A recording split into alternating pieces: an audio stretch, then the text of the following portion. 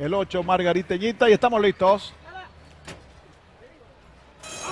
Partida en la última válida para el 5 y 6. La llevo usurpada queda en el último lugar. Viene por la parte exterior Trueno y Agua a dominar la carrera, pero ya surge Beyoncé por el centro y si viene a la punta Saxeda va al segundo. En el tercero Naya, en el cuarto lugar viene mejorando ahora Adriana Vale, luego lo hace Margariteñita. Enseguida mejora un poco la yegua detectora, después se quedó Trueno y Agua. Enseguida mejora por la parte exterior de la cancha el ejemplar Revirre que viene a la pelea cuando van así en 23, 3 quintos los primeros 400 metros. Domina Beyoncé la carrera en el segundo sigue Naya. En el tercero avanza por dentro Adriana Vale. En el cuarto pasó Margariteñita. En el quinto lugar viene avanzando ahora por la parte exterior de la cancha negra estelar. Y otra que trata de aproximarse desde el fondo detectora cuando se están acercando la última curva. Belloncé domina Naya. Margariteñita pasó al tercero. Entre tanto, desde el cuarto lugar trata de venir a la pelea la yegua usurpada. Y también Adriana Vale cuando entran en la recta final. En la sexta válida para el 5 y 6. Belloncé domina. Insiste Naya por la parte exterior de la cancha. Naya la número 11 viene pasando a dominar la carrera.